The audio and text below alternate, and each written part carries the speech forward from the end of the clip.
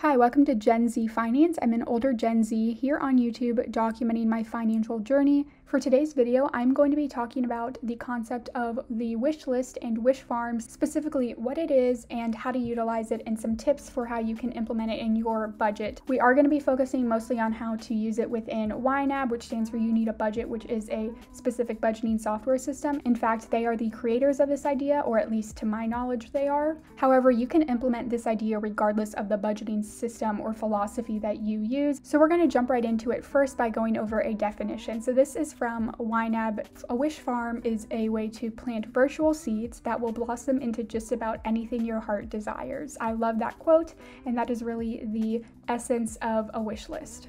The other way I like to think about wish lists is that it is a way to become your own personal Santa Claus. The first step of a wish list, you literally write out a list of specific things or experiences that you want. You can do it on paper first, or you can do it right in YNAB itself. I recommend you start with concrete things, and you can think about this with things that you need and things that you just want. Maybe you need new blinds for your apartment or your house. Maybe you want season tickets to your favorite sports sports team's upcoming season.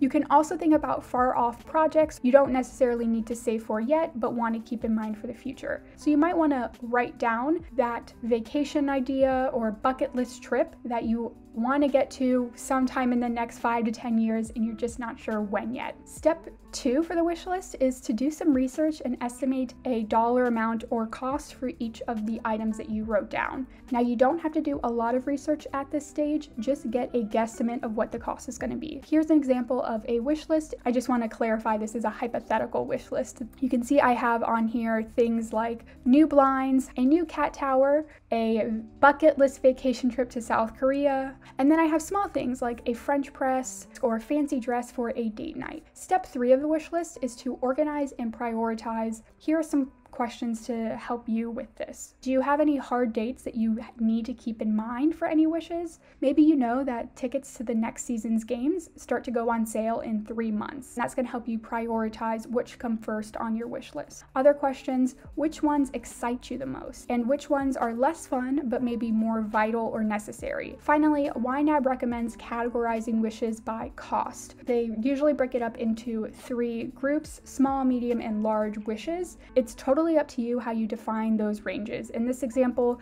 you can see I'm saying small wishes are going to be 50 to $150 and large anything over 300. But this is going to depend on your income. For you, maybe everything under $500 is a small wish and everything over 1500 is large. So keeping these questions in mind, we're going to refer back to the original wish list and write some of these things out. So if we look down at the bottom, you can see the new blinds wish list. I've written next to it, it's urgent because it needs to happen before Thanksgiving. I'm considering it necessary for my personal life, and I don't consider this fun.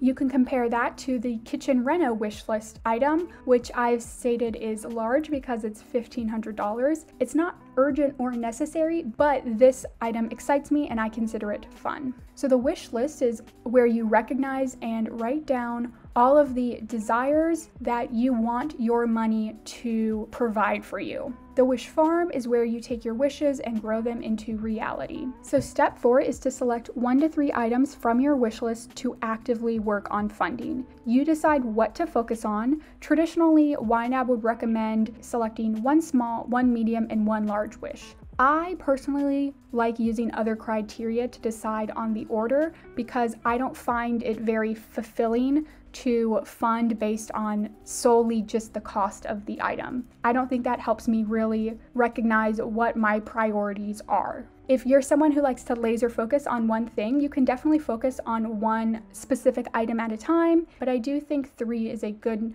maximum number to keep in your wish farm at any given time. So looking back at the example, you can see I've selected three items to sit in my wish farm. I'll even give you some insight into how I selected these three. Both the new blinds and the tailoring are urgent, necessary, and they're not necessarily fun to save for or fun to spend money on. So then I tried to balance out those two not very fun items by putting in the lightning tickets. So this is an example of why I don't necessarily love the one small, one large, and one medium template or recommendation from YNAB because the lightning tickets are large, but I wanted to put them here because they're going to be fun to save for. And they are urgent in that there's a hard date that if I want to go to the next season's games, I need this money by, in this case, May.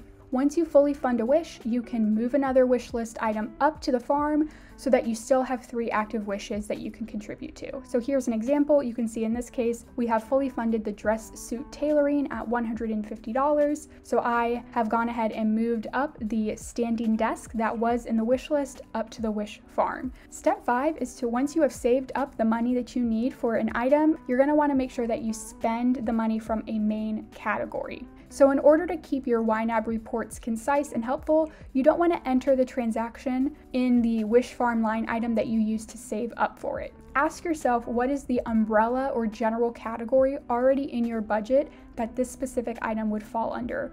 For the example of the dress suit tailoring, I would suggest do you have a clothing line item, maybe in your sinking funds or true expenses? A good quote to remember this is to save in the specific and spend from the general. Step six is to retire your wins in a separate group. I like to title this group Wishes Granted. Once you have purchased the specific item that you were saving for, check off completed wishes with literally, I like to use the check mark emoji and drag them to a wishes granted category. This allows you to quickly pull up a list of all the specific items that you have saved for and actually were able to purchase. So because you're going to be tracking and entering your transactions in more general umbrella categories, it might be hard to remember all of the wishes and money wins that you had because those transactions are going to be all throughout your budget. So if you keep the line item that you saved the money for and you moved it up under wishes granted, you can quickly access this at any time. So now we're going to see an example of this. So I am going to my checking account to enter a transaction.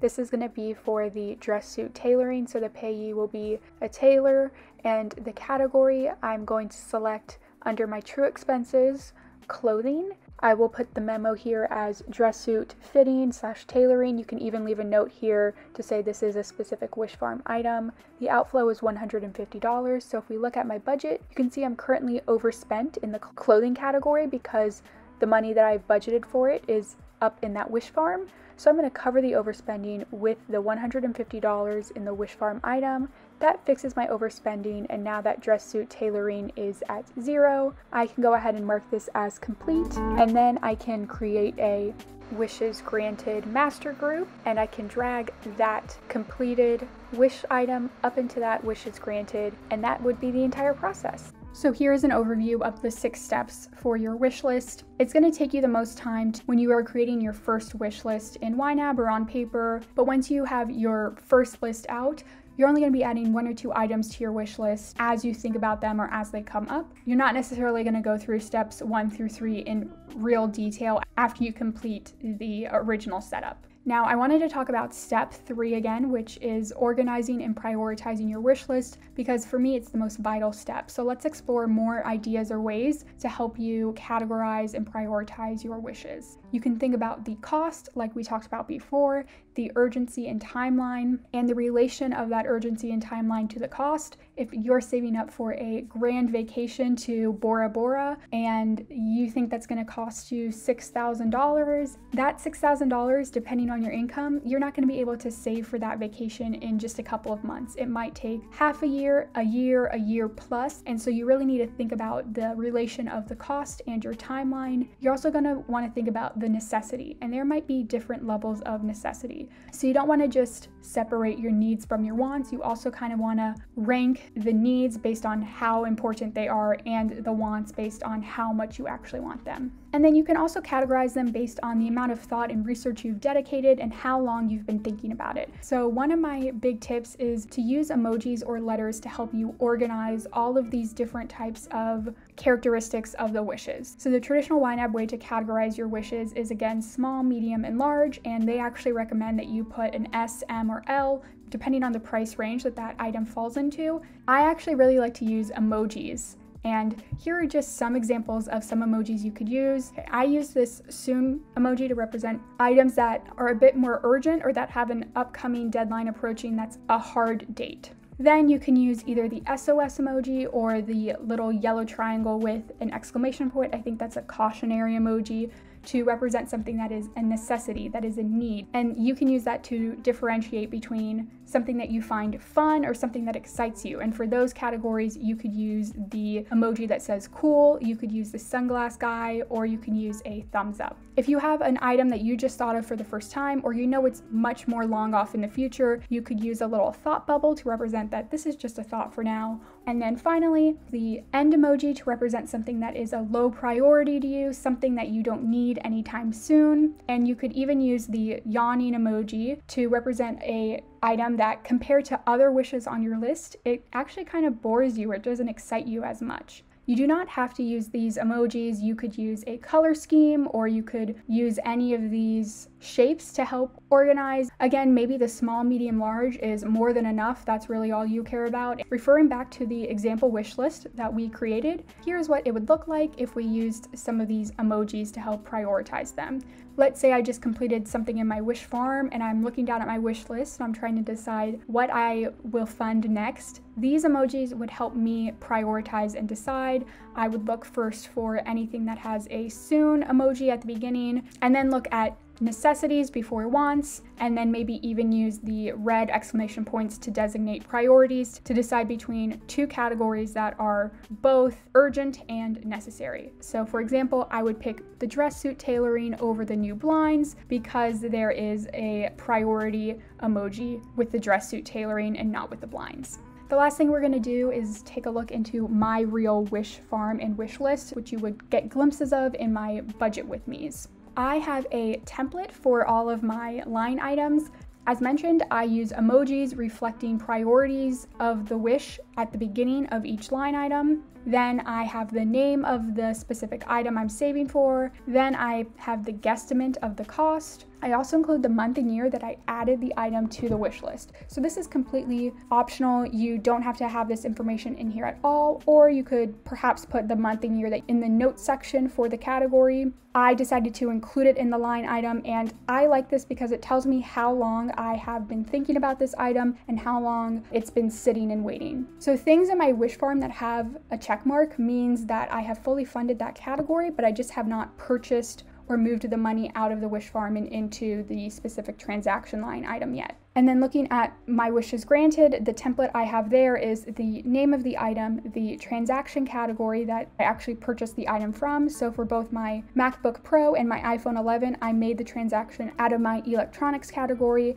And then I include the date purchased and the final cost. And then I keep my wish list and wish granted groups hidden at all times except when moving items around. All right, that is going to wrap up this video. Let me know down in the comments, do you already have a wish list? If so, what's currently in your farm that you're focusing on? How do you prioritize your wishes? I'd really like to hear from other people. And if you don't have a wish list, will you implement the idea now or in the future? Don't forget to hit the like button and make sure you're subscribed to my channel as well. As always, I hope y'all are staying safe and healthy and that you have a good day.